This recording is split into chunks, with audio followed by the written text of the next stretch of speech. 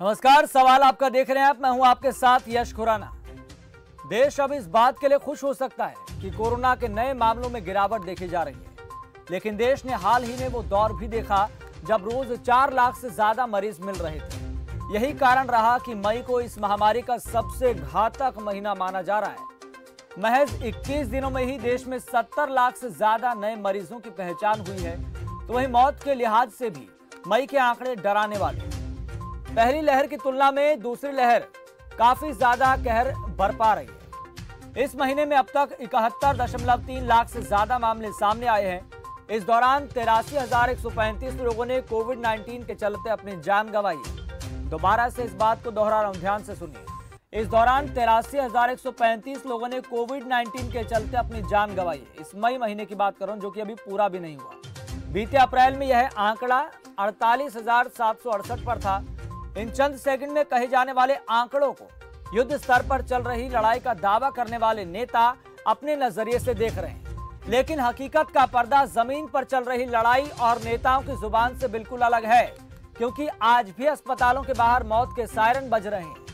रोने, चीखने, चिल्लाने की आवाज़ें अब शहर के साथ साथ गाँव से भी सामने आने लगी है। अब सूरज बाद में निकलता है, पहले मन को दुखी करने वाली बुरी खबर आ जाती है।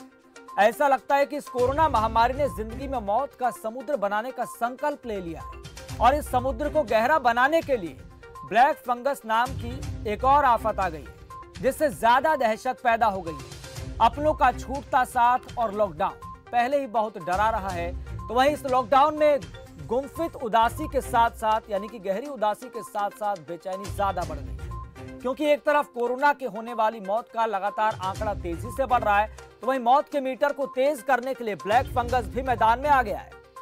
ब्लैक फंगस की गंभीरता को आप इस बात से समझिए कि केंद्र सरकार से लेकर राज्य सरकारें इसको लेकर अलर्ट पर हैं।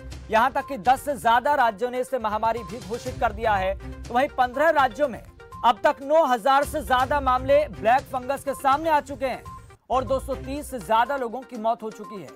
कोरोना के बाद सरकारों के लिए म्यूकर माइकोसिस अब सिरदर्द बन चुका है।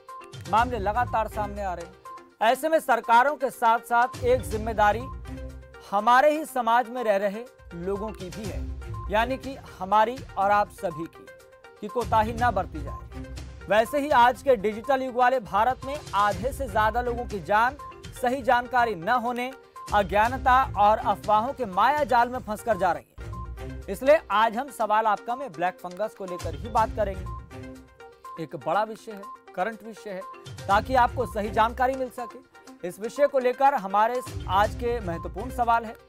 सवाल आपकी टीवी स्क्रीन पर आपको दिखा देते हैं कि सवाल क्या है। आप गौर कीजिएगा और चर्चा कीजिए, ब्लैक फंगस फैलने का कारण क्या है? इतनी तेज़ी से अलग अलग राज्यों में मामले सामने आ रहे हैं। काली महामारी कितनी तैयारी सरकार की क्या तैयारी है इसको लेकर? और कोरोना से कितना ज़्यादा घातक है ब्लैक फंगस? वहीं पर अगला सवाल आपकी टीवी स्क्रीन पर, ब्लैक फंगस का खतरा किसे सबसे ज़्यादा है? इस पर भी हम चर्चा करेंगे। आप ध्यान से सुनिएगा। ब्लैक फंगस जानलेवा कब बन जाता है? क्योंकि कई बार ये देखा गया है कि शुरुआत तो हो जाती है, लेकिन इस तरह से उसकी शुरुआत होती है कि आखिरी वक्त में इंसान को अपनी जान तक गंवानी पड़ती है और इस तरह के मामले कई राज्यों में सामने आ चुके हैं। तो इन तमाम सवालों को लेकर हम चर्चा करेंगे। इसके साथ साथ एक जानकारी आपको और बता दें, ये कार्यक्रम हमारे दर्शकों को पूरी तरह से समर्पित है। इसलिए जो आपके जहन में सवाल होंगे, वो आप हमारे साथ जुड़े मेहमान के साथ पूछ सकते हैं। सवाल आपके सदे हुए होने चाहिए, गरिमा के साथ अपने सवाल पूछे। जो भी जहन में आपके सवाल हैं, लगातार नंबर आपके टीवी स्क्रीन पर फ्लैश हो रहे हैं, आप उन नंबर पर तुरंत कॉल कर सकते हैं और ब्लैक फंगस समेत कोरोना से संबंधित कोई भी अगर आपका सवाल है तो आप तुरंत आप सवाल पूछे हमारे साथ जुड़े मेहमान के साथ। अब कार्यक्रम का सिलसिला आगे बढ़ाते हैं। आपको बता दें हमारे साथ हमारे मेहमान जुड़ गए हैं तारुफ करा देते हैं। हमारे साथ डॉक्टर शरद लखोटिया जुड़ गए हैं जो एक्स वाइस प्रेसिडेंट हैं दिल्ली मेडिकल एसोसिएशन के। और इसी के साथ साथ एंटी कोरोना स्टाफ के चीफ एडवाइज़र भी हैं। डॉक्टर शरद लखोटिया आपका बहुत बहुत धन्यवाद कार्यक्रम में जुड़ने के लिए। हम पहले भी कई दफ़ा कई मसलों को लेकर चर्चा कर चुके हैं तफसीलात से। लेकिन आज हमने इस विषय का चयन इसलिए किया चूँकि लगातार इसके भी मामले सामने आ रहे हैं। हमारी सरकारें खुश हो सकती हैं।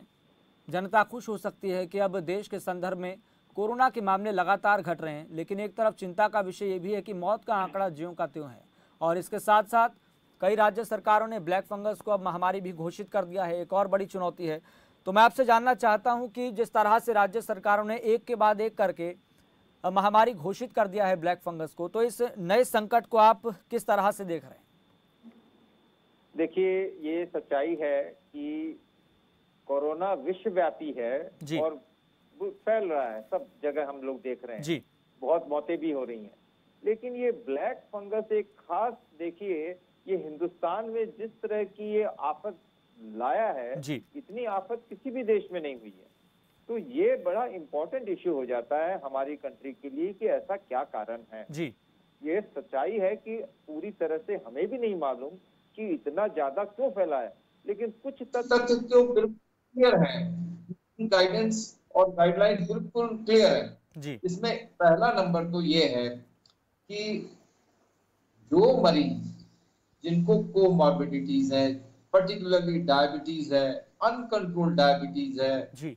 जो मरीज़ इम्यूनोसप्रेसिव मेडिसिन पे हैं यानी जिनका कोई ऑर्गन ट्रांसप्लांट हुआ है किडनी बदली गई है लीवर है बदला गया है उनको एंटी इम्यूनोसप्रेसेंट मेडिसिन पे रखा जाता है। तो वो लोग ज़्यादा प्रोन है ब्लैक फंगस होने के, अगर कोरोना हुआ तो। और इसके अतिरिक्त जब भी इम्यूनिटी लो है, और लंबे समय तक जिन्होंने आईसीयू में समय बिताया है, और हॉस्पिटल स्टे लंबी रही है, जो जनरली उनकी हेल्थ बहुत वीक रही है, ऐसे मरीज़ ज़्यादा प्रोन है।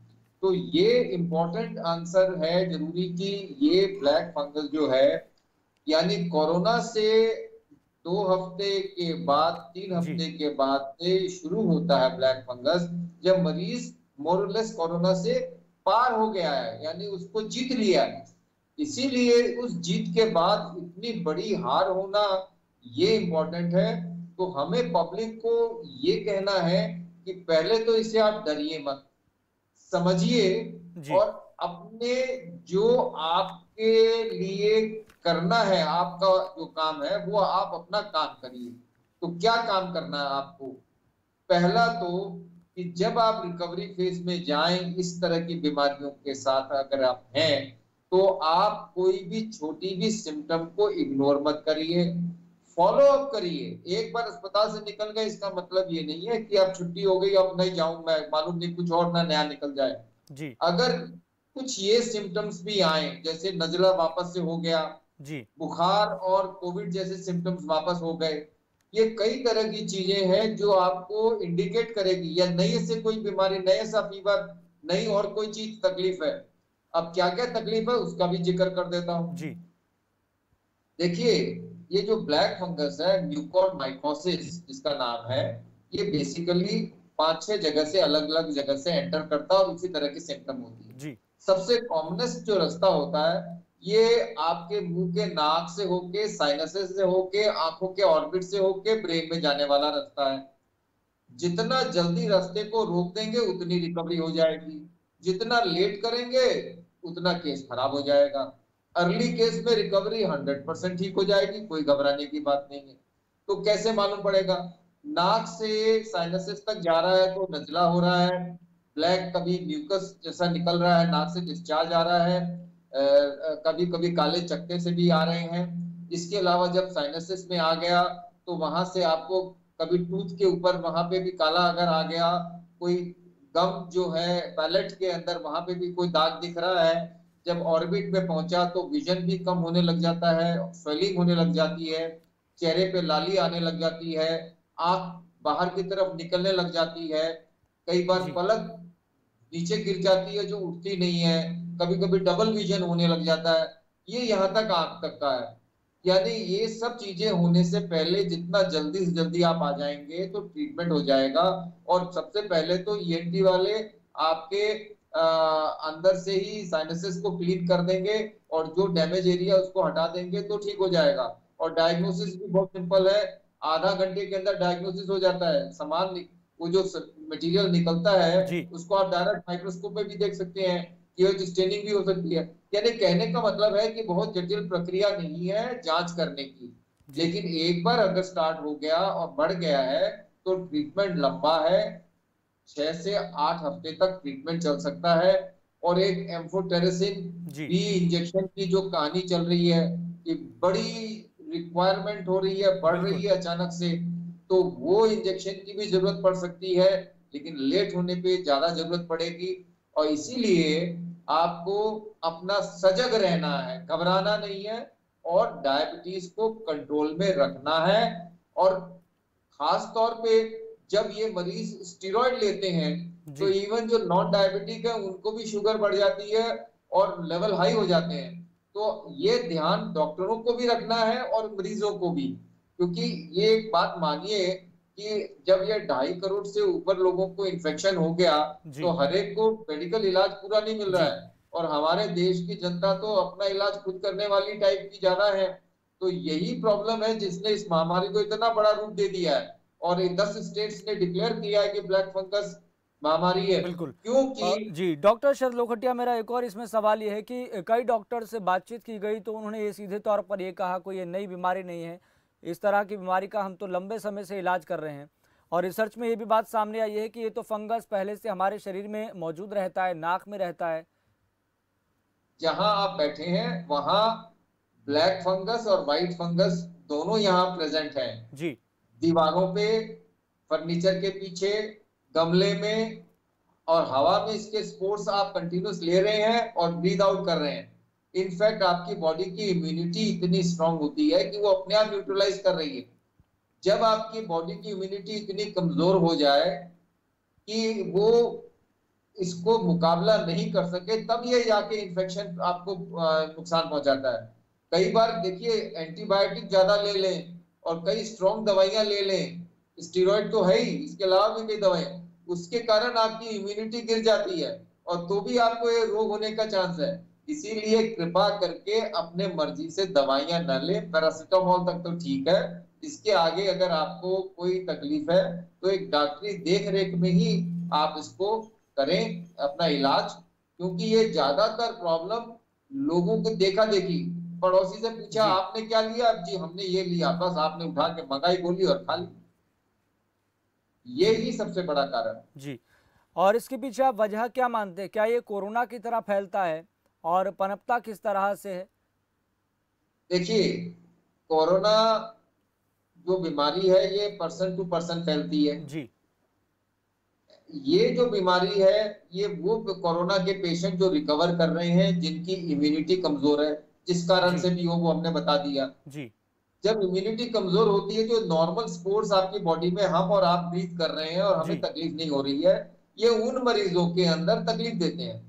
एक समझदारी की बात यह है कि आप जब मास्क पहनते हैं तो आप इन स्पोर्ट्स को यानी ब्लैक फंगस के जो कीटाणु है फंगस है उनको जाने से रोक सकते हैं। अगर आप उनको रोक देंगे तो इम्यूनिटी कम भी होगी तो चांस इन्फेक्शन के कम है। इसका मतलब है कि कोरोना जब हो जाए उस काल में भी और उसके दो तीन हफ़्ते बाद भी मास्क पहनना कितना ज़रूरी है।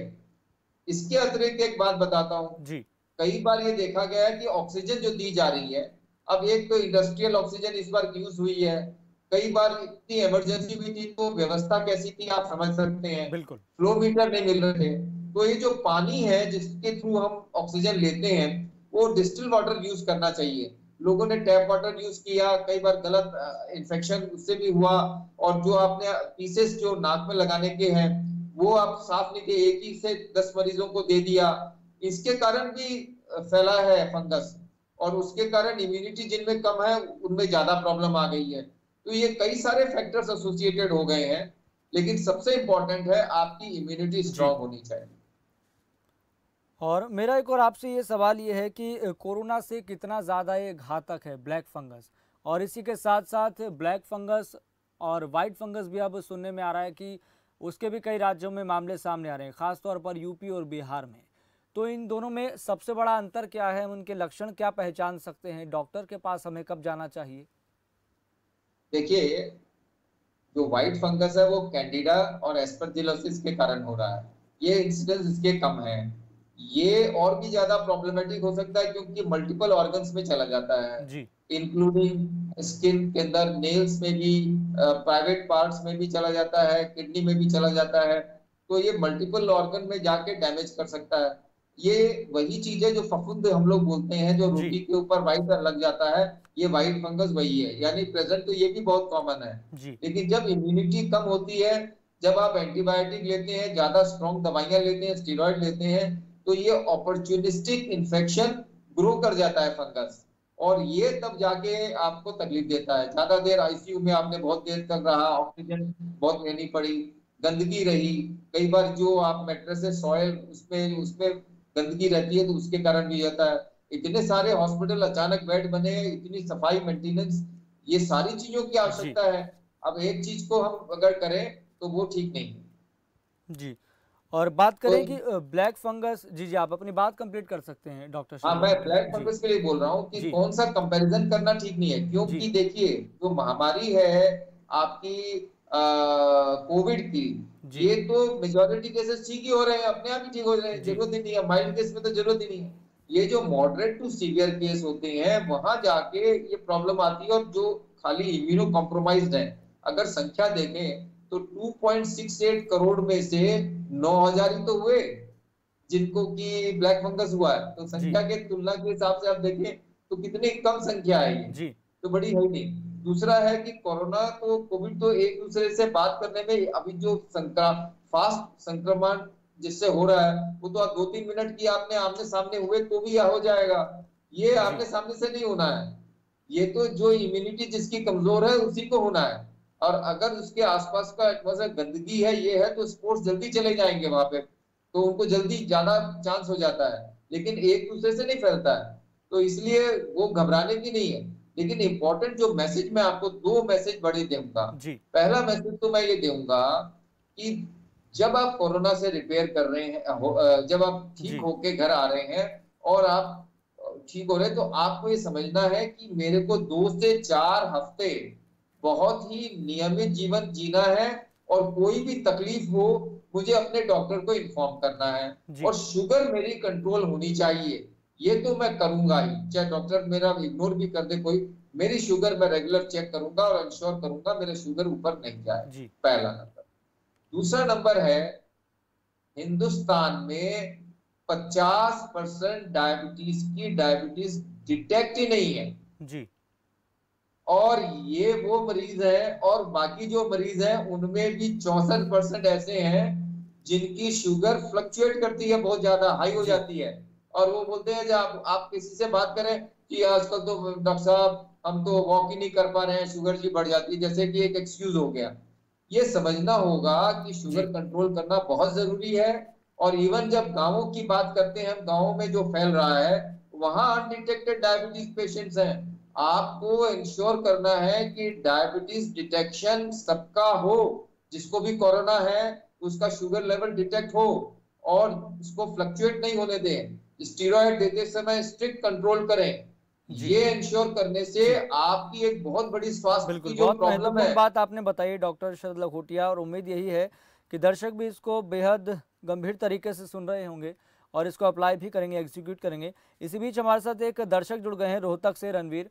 रणवीर आपको बहुत बहुत स्वागत है। आपका सवाल क्या है? पूछिए आपने जो पूछना हाँ। यस जी आपको नमस्कार। आपके चैनल का बहुत बहुत धन्यवाद। और डॉक्टर साहब की तो जितनी तारीफ़ की जाए उतने हमें गया बारी इन्होंने बहुत ही अच्छी बातें बताई जिससे हम तो आपके चैनल का इंतज़ार करते रहते कि कोई डॉक्टर आए अच्छी बातें बताए। इससे जनता पर बड़ा भारी प्रभाव पड़ता है। और आप से हम तो आग्रह करते हैं इसी प्रकार डॉक्टर साहब से कि ज़रूर आए चैनल पे और जनता को अच्छी तरह से समझाएँ। अभी जनता गाँव की भी बहुत जागरूक हो गई है क्योंकि गाँव में बहुत नुकसान झेला है। जी। गवर्नमेंट ने गाँव को नहीं संभाला गाँव वालों ने आपस में मिलकर एक दूसरे का भाईचारा बना रहे बहुत मदद कर रहे हैं और हमारे झोला साहब डॉक्टरों ने ही ये आप देशों से सुनकर दवाइयाँ तो इस्तेमाल की उनसे इलाज हुए। तो डॉक्टर साहब आपका बहुत बहुत धन्यवाद और आगे भी इस चैनल पर आप ज़रूर आते रहिए। इस प्रकार से आप जो बातें बता रहे हैं हमारे को बड़ी खुशी हो रही है। और हमारे को हौसला बढ़ रहा है हमारे को पता चलता है कि किस तरह से सफ़ाई रखनी है किस तरह से क्या करना है। क्योंकि गाँव में इस प्रकार के पेशेंट बहुत ज़्यादा हैं जो आईसीयू में तो नहीं गए लेकिन आईसीयू के बराबर ही यहाँ गाँव में रहे चलिए रणवीर जी बहुत बहुत धन्यवाद। बहुत बहुत धन्यवाद जुड़ने के लिए और अपनी बात रखने के लिए। डॉक्टर शरद लखोटिया मेरा अगला सवाल यहाँ पर यह है कि ब्लैक फंगस में देखा जा रहा है किसी की एक आँख की रोशनी चली गई है, किसी की दो आँख की रोशनी चली गई है। तो इतना घातक कैसे हो जाता है शरीर में? अपना फैलाव कैसे करता है? उसकी आँख तक निकालनी पड़ जाती है। कई दफ़ा इस तरह के मामले भी देखने को मिल चुके हैं।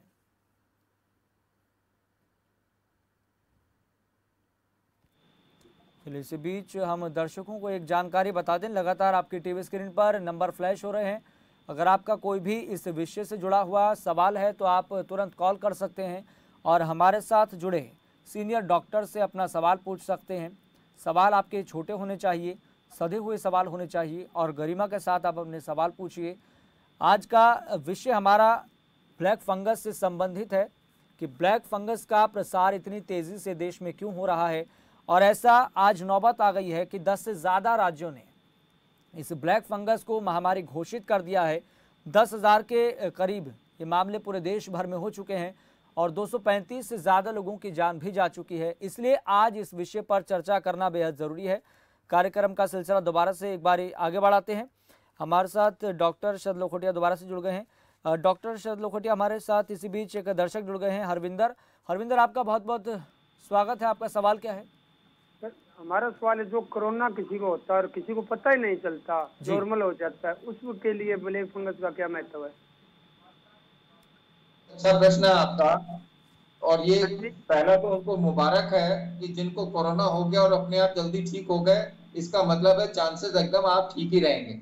अब आपको दो तीन चीज़ें इंपॉर्टेंट बता दूँ। अगर आपको कोरोना और ठीक हो गया फीवर आपका दो तीन दिन में कम हो गया आपको हफ़्ते भर तक अपना ऑक्सीजन लेवल देखते रहना है आप कई बार ये एक हैप्पी हाइपोक्सिया बोल के कंडीशन होती है, जहाँ आपको लगता है मेरा बुखार ठीक हो गया, मैं बहुत स्वस्थ हूँ और बहुत आनंद आ रहा है और ऑक्सीजन लेवल गिर रहा है। तो अगर ऐसा गिरे तो आपको ऑक्सीजन थेरेपी की ज़रूरत पड़ सकती है और आपको सेंटर में जाना होगा। अगर आप हफ़्ते भर निकाल लिए और आपको कोई तकलीफ़ नहीं है तो आठवें, नौवे दिन के बाद कोरोना से आपको तकलीफ़ नहीं होनी है। लेकिन कई बार लेट कॉम्प्लिकेशन शुरू हो जाती है, क्योंकि आपको, देखिए सी थ्री प्रोटीन सीथ्रिया प्रोटीन होता है सीपीआर जिसको बोलते हैं डी डायमंड टेस्ट होता है, ये सब कराना हर एक की पॉसिबल नहीं है। जहाँ ये मालूम पड़े कि क्लॉट फॉर्मेशन टेंडेंसी है कि नहीं है रिएक्शन कितना ज़्यादा है साइटोकॉन स्टॉम बन रहा है कि नहीं बन रहा है, और जो लेट कभी आए हार्ट की कोई प्रॉब्लम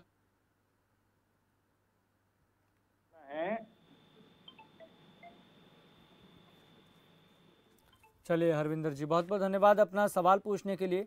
तो लगातार ग्राफिक भी आपके टीवी स्क्रीन पर चल रहे हैं। आप देख सकते हैं किस तरह से ये ब्लैक फंगस महामारी अपना रूप दिखा रही है, अपना कहर बरपा रही है। चाहे बात उत्तर प्रदेश की हो, मध्य प्रदेश की हो, गुजरात की हो, चंडीगढ़ की हो, हिमाचल प्रदेश की हो उड़ीसा की हो, कर्नाटक की हो, तेलंगाना की हो, लगातार राज्यों में इसका प्रसार होता हुआ दिखाई दे रहा है।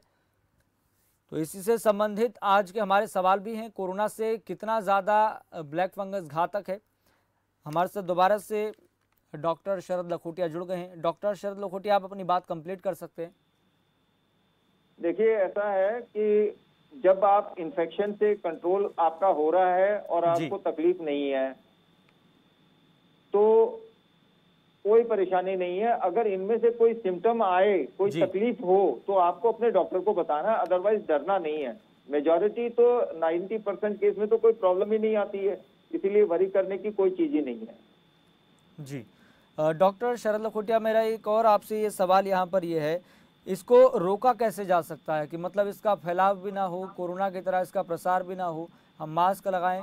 और मेरा इसी के साथ आपसे ये सवाल ये है, इसका भी आप ज़रूर जवाब दीजिएगा। क्या ब्लैक फंगस उन व्यक्तियों को भी हो सकता है जिनको ना तो डायबिटीज़ की प्रॉब्लम है, ना तो उनको शुगर लेवल जो उनका फ्लक्चुएट होता है, ना उनको कोरोना हुआ है? क्या इन व्यक्तियों में भी चांस रहता है ब्लैक फंगस होने का? देखिए ऐसा है कि अभी ये बहुत सारी चीज़ें देखी गई हैं। रिसेंटली पर्टिकुलरली अभी हमने नो, नोटिस किया है कि बहुत सारी ऐसी कंडीशंस हैं। इवन अभी अहमदाबाद में तेरह साल के एक बच्चे को भी हुआ है ब्लैक फंगस और उसकी कोमॉर्बिडिटीज नहीं थी। तो ये कुछ केसेस ऐसे भी हैं जहाँ कारण अभी क्लियर पूरा नहीं है समझ में कि क्यों हुआ है। लेकिन मोस्ट प्रोबेबली इम्यूनो सप्रेसिव या कोई कारण से या स्टीरोड ज़्यादा देने से ये कारणों से इम्यूनिटी कम हुई है जिसके कारण हुआ है। तो ये एक इम्पोर्टेंट विषय है। देखिए अभी तो कई तरह की ऐसी भी जानकारी आ रही है कि देखिए जिंक जैसे हम लोग ज़्यादा ले रहे हैं क्योंकि हम लोग मानते हैं कि कोरोना में जिंक लेने से आपको इम्यूनिटी बढ़ती है। लेकिन जिंक से फंगस भी बढ़ने की टेंडेंसी होती है। तो ये एक अलग तरह की समस्या है क्योंकि जिंक को कम करके बॉडी का दवाइयों से जिंक कम करके भी ये फंगस का इलाज होता है। तो ये कई तरह की चीज़ें हैं जिसकी स्टडी अभी और क्लियर गाइडलाइन आएगी। लेकिन अभी हम इतना ही कह सकते हैं कि जब बच्चों में या छोटी उम्र में भी ये सब शुरू हुआ है तो हमें सतर्क रहना ही बिल्कुल और हमारा दिल्ली में भी ये देखा गया कि दो मरीजों में आंत में ब्लैक फंगस मिला है। हाँ आँख में आ जाता है बिल्कुल। और जब ये आँख में आता है तो उस समय में अगर मान लीजिए ऑर्बिट को बचा लिया तो तो ठीक है। अगर वो ज़्यादा इन्वॉल्व हो गया टिश्यू में चला गया तो सबको सफ़ाई करके निकालनी पड़ती है और आँख भी निकालनी पड़ती है ताकि ब्रेन में न चला जाए। अगर उस समय ये ब्रेन में चला जाए तो ये डैमेज कर देगा। ब्रेन को डैमेज करेगा और डेथ भी हो जाएगी। जी। तो इसीलिए ये बड़ा इंपॉर्टेंट है।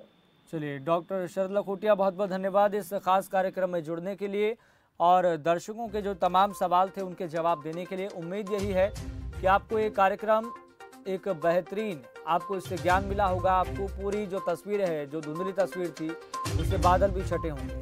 तो समय और चर्चा करने की इजाज़त नहीं दे रहा है, लेकिन जाते जाते एक बात कहना चाहता हूँ, ये साल भी कोई साल है। हर तरफ़ मचा बवाल है, चारों ओर है गम का मौसम और जीना हुआ मुहाल है। सुबह मुस्कुराता बशर यहाँ, शब तक हुआ बेहाल है। भरे खजाने जिसके भी, वो भी सांसों से कंगाल है। इसलिए एक एहसान कीजिए। घर पर रहें, सावधान रहें, सतर्क रहें, अपनों का ख्याल रखें, अपना भी ख्याल रखें। फ़िलहाल सवाल आपका मैं इतना ही, मुझे दीजिए इजाज़त, देखते रहिए खबर।